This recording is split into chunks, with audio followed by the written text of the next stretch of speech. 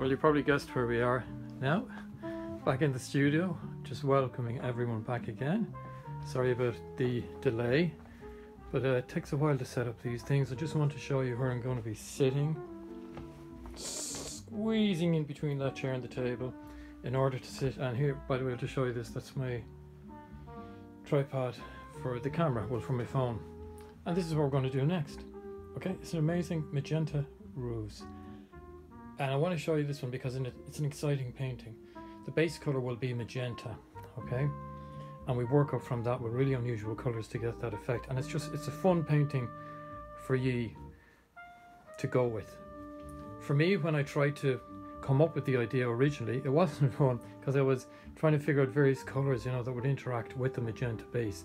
But as we go along, we'll see all of that, okay? And uh, you may hear, that's my maestro from LA in the background, Brian Schwartz again. Can't get enough of him, his music is amazing. We just want more of Brian all the time. Okay, I'm just going to lift this up here just to show you. I've already prepared the canvas, okay? Just put that one down over there. And that's all you have to do with your magenta. I didn't bother showing you this, making a movie of this, because you know the routine. Tape, masking tape on the edges, and then just you know a wash of magenta. If you don't have magenta use cadmium red. Use cadmium red medium cadmium red light.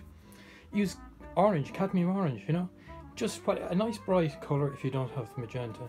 Or if you have a deep magenta just add a little bit of white to it and that'll lighten your magenta and put a wash of that on it. Okay now I have to set up the camera on this thing with my masking tape etc which I have over here as you can see.